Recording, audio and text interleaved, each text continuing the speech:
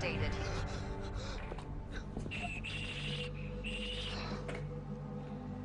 You're toying with him. Oh, come on. What's a little fun between future business partners? Well, we wouldn't want him to think that we're wasting his time by sending him on some fool's errand. Yeah, it would make anyone furious.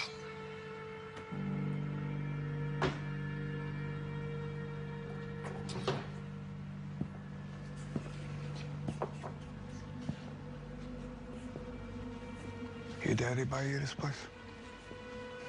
Not so shiny toy to distract you. While he's running the real business.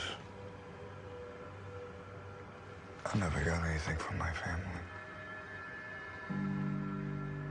You know I'm an orphan. It's true. I grew up in a real deal orphanage.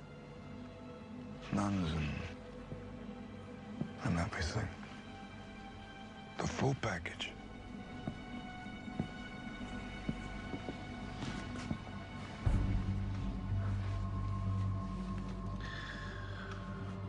There was this older boy.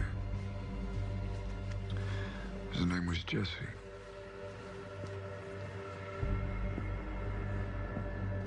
Jesse thought he was better than me.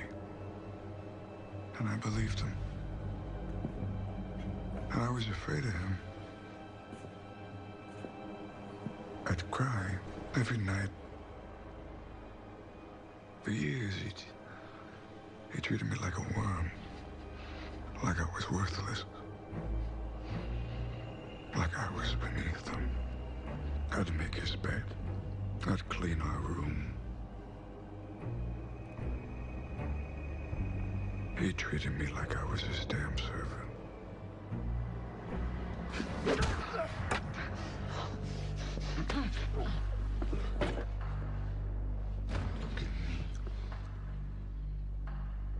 I'm nobody's servant now. If you cut me, my father will never give you what you want.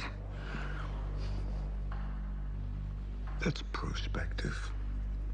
The future. I'm more interested in the past. Why'd you try and kill him, Eric? Because I could. That's not good enough.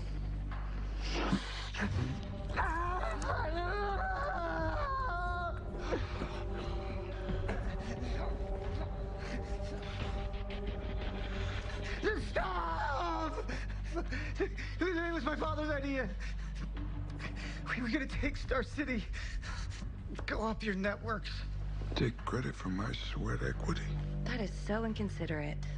Sounds like your precious little quadrant is a bunch of selfish jerks. They didn't know. We never told them about you. What? My father and I. We never brought your proposal to the quadrant. You're a nobody, so.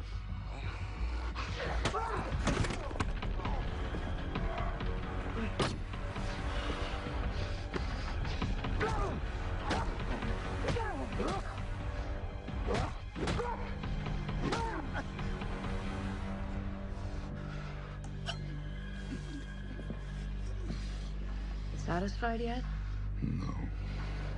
You're alive now. You want to stay that way? Tell me when the quadrant's meeting. Tonight. Well, isn't that convenient? You're gonna give me all the details? They're not just gonna let you in.